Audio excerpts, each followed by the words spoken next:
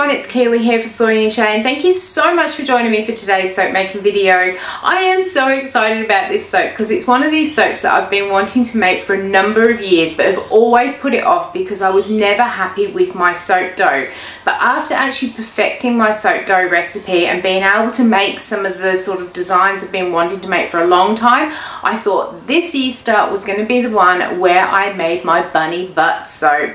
So I pulled out my little soap dough box, I made myself some little bunny butts and now we're going to go and put it all together as I make bunny butt soap. Let's go. Okay, so let's jump straight in. We've got our lye water and our oils, which are down to the room temperature I like to soap at. Just going to combine the two, mix them up with the stick blender until they just come together. And then I have a few colours that I'm going to split it out. And then I've also got this absolutely amazing fragrance oil to add into it. It's really making me hungry.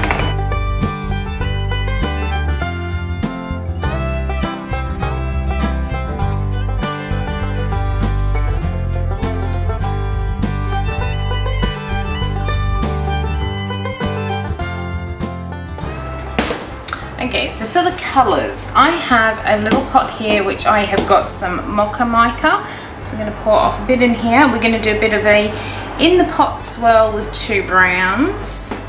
And then I'll also be doing a drop pour with some of this one, which is orange pop mica. So I'm going to pour about that much in there. But I might actually just pour a bit of that off in there. I'm not worried if some of that orange mica goes into that brown because they're very similar sort of tones in colour. So we've got those two.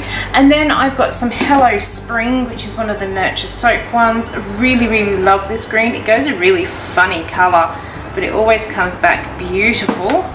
So I've got that one and then into my big container I have got some latte mica. Now I don't want this to be a really dark base at the moment. I don't know if my um, fragrance oil will discolor, but um, don't all the same, I don't want that brown to be too dark, so just a little bit of that one. Let's get these colors mixed in, and I might start with that green first.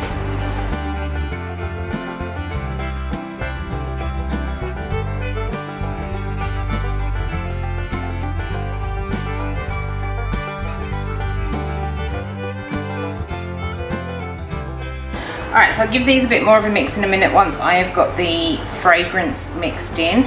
I have got this absolutely amazing fragrance oil from the Fragrance Garden and it is called Carrot Cake.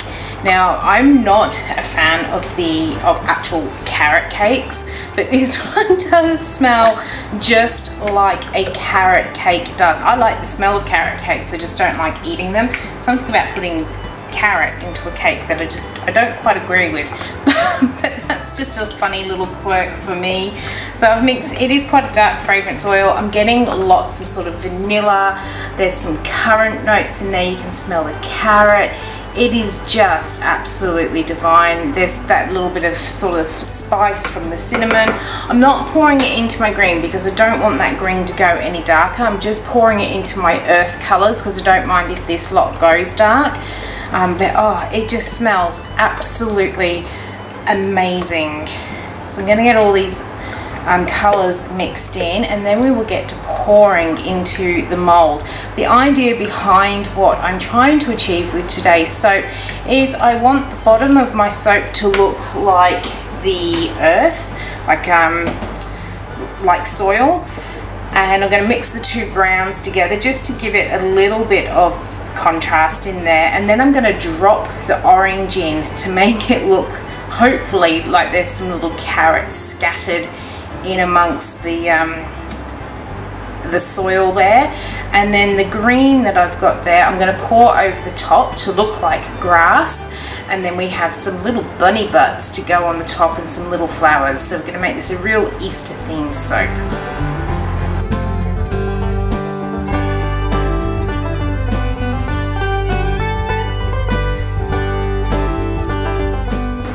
So as I said, the first thing I'm going to do is an in the pot swirl with these two browns. So we'll get all of this dark one poured in.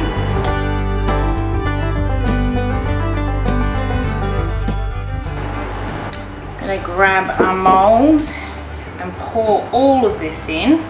because I don't want to try and create any swirlies with my orange this time. I just want the orange ones to stay like big drops.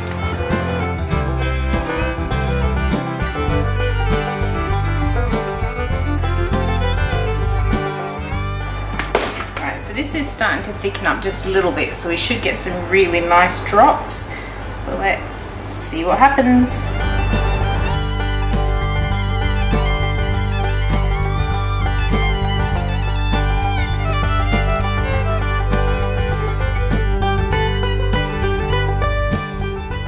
Alright, so we've got that in, let's give it a bit of a, a wiggle to get it right. I'm going to pour just a thin layer of this green over the top and then I'm going to save some back for some piping as well.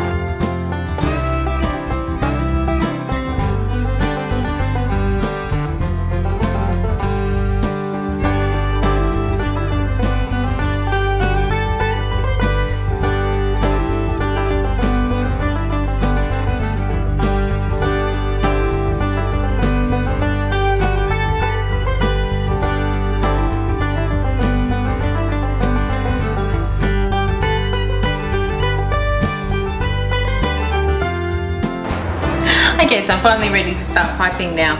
I did put all of that soap into the extra jug so that I could get my stick blender in um, to get it to work. Now this was just piping because you can see I just tested it.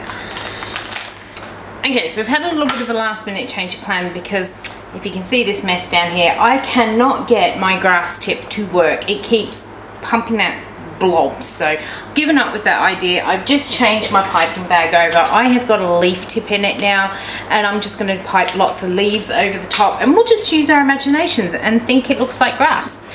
Because what I'm going to do, I got these cute little bunny butts and I'm going to stick on each of the soaps. I am so super pleased with them. I have been wanting to make a bunny butt soap for such a long time and I decided this Easter was the time to do it. So I sat down with my soap dough one day and I just made lots of little bunny butts. So I'm gonna pop one into the middle of each of these soaps and then once I've got them all on here I am going to pipe on lots of little leaves and I have also in here let me pop that little bunny butt on there. I have some little flowers and I made these using the Wicked Lee soap sprinkle sheets. I had one of the Sakura um, flower sheets and I poured in my soap and then popped out the little um, flowers to use on here. So we'll make a little field of flowers with bunny butts sticking out and then hopefully when we cut these bars it will look like these bunnies are diving down to get some carrots from underneath. So I'm going to get all of these on and we'll see if it comes together better than my original idea of trying to pipe on some grass.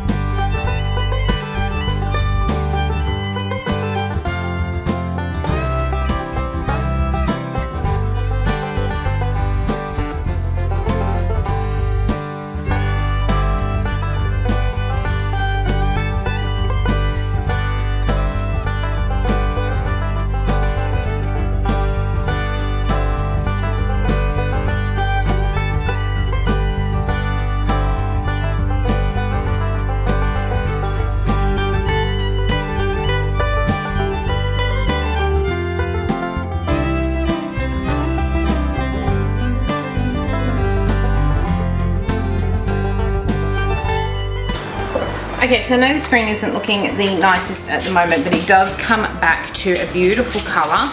Just giving that a quick spray with some rubbing alcohol just to try and um, avoid any soda ash. Um, I Sometimes it helps, sometimes it doesn't.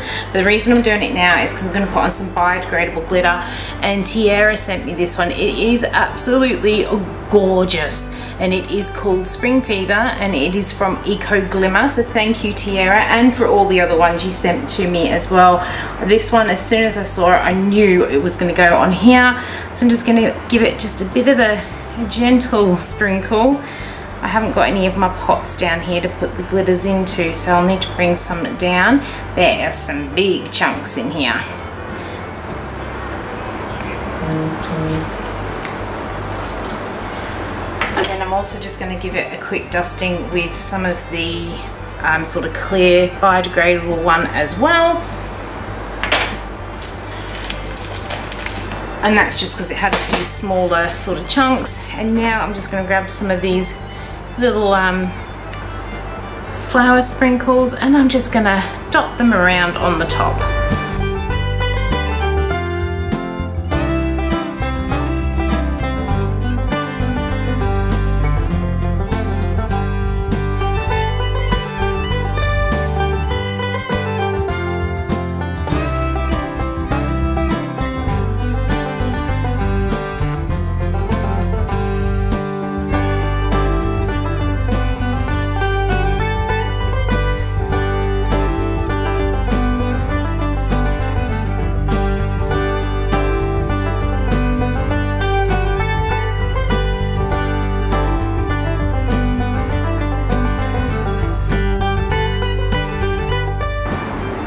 Okay, well there it is. There is my bunny butt soap. I am going to leave it set overnight. That green is hopefully going to pop back into that beautiful Hello Spring. And then we're going to cut it open and see what it looks like on the inside in just one moment. Okay, so we are here to cut into bunny butts and look at that beautiful colour that it has gone. It's always so worrying waiting for the colours to actually turn back into what you know that they should be, but it has come up just as I hoped and those flowers have all sort of popped on there. So let's get this one lined up. I know that I've got my bunny butts in the right place. I just got to make sure that the wires are lined up right on my soap and I think that is looking really good. It smells absolutely amazing as well. The um, fragrance is held really well. So let's push through and thunk. We've lost a couple of the flowers, but that's okay. We'll just push them, push them, push them back on there and they will hold. We'll grab this one from off the end first and that is the inside. So I was hoping for some smaller drops in there, but I must have just had a little bit too much of that um, orange. But it looks like we've got a great big carrot that the bunny's diving it down for. Really do like the colours this one has gone. Oh, that's a bit more what I was after, just some little drops of orange. So it looks like we've got some proportionately sized carrots in there. So really happy with how that one has come together and it does. It smells so so good. And I'm actually quite happy that the grass tip didn't work on this pour um, or on the top of this because I really do like how the leaves have gone. I think it's given it a lot more sort of texture looks more like a field rather than someone's backyard.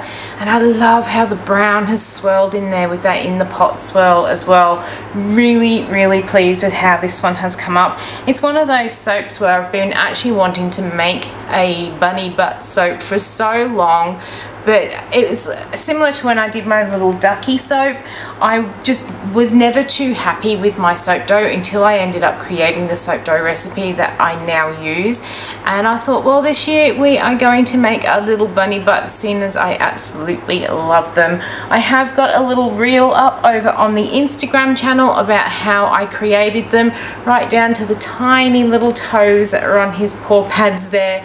But I am so happy with how this one has come up. The end bar is a bit funny, but the rest of them have come up exactly how I envisaged it to look. So I hope you have enjoyed coming along with me and watching how I made my bunny butt soap for this Easter. If you did, why not leave me a thumbs up and any comments down below. It really does help the videos to get out there. And until the next time, I hope you have a good one and I will see you then. Bye.